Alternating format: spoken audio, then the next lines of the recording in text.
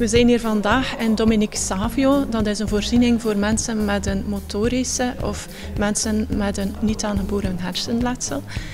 Um, en vandaag zal Bert Verbeke samen met twee deelnemers van het dagcentrum uh, aan de slag gaan met de spiritwezer, met het spel.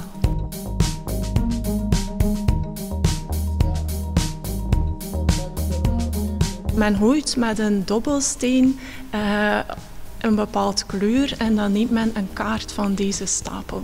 En aan de hand van deze kaart kan men dan en deze vraag uh, iets gaan vertellen over zichzelf.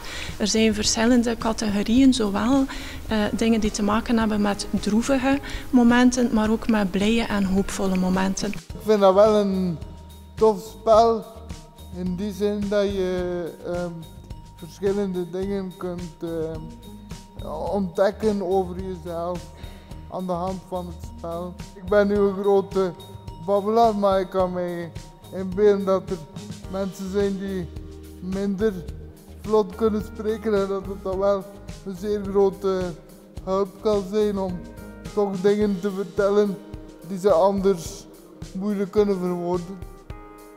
Voor mij heeft het ook soms wel geholpen om uh, te zijn als een collega-speler zijn verhaal of zijn antwoord op de vraag geeft, dat je een beter inzicht krijgt in zijn toestand of hoe hij zich voelt. Je leert dus nadenken over het leven um, met zijn voor- en nadelen.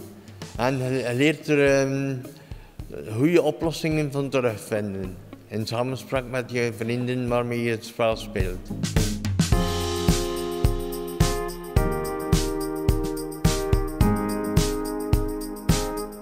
Er komen ook geloofsvragen in aan bod, maar het spel is zo opgebouwd dat het zeer toegankelijk is en dat alle medewerkers ermee aan de slag kunnen en zinvragen kunnen herkennen en dan ook kunnen herkennen wat belangrijk is om door te verwijzen naar de pastor en naar de tweede lijn.